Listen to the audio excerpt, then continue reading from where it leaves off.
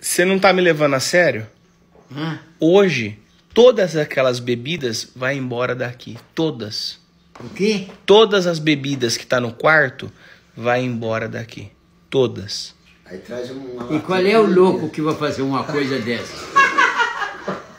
Qual é o louco? Pô, eu puxo o dedo. É? Você não tem. Você tá pensando aí. que eu não tenho guardado aí? Cadê? Você pegou, Mostra. me levou as duas espingardas que eu tinha, que você levou embora. Mas acontece que eu tenho um revolvinho aí. É, eu queimo o desgraçado aqui, ó. Não é, não é aquele pequenininho? que- Vai, me, vai mexer lá pra você ver. Ainda hoje não vai ter mais nada ali. E, ó. muito bem, vai. Cai na besteira. É assim que você gosta do seu neto? É assim que você gosta do seu neto? Falando que vai puxar o dedo nele? Puxa ser, que você já tá velho. Macaco é 17, senhor.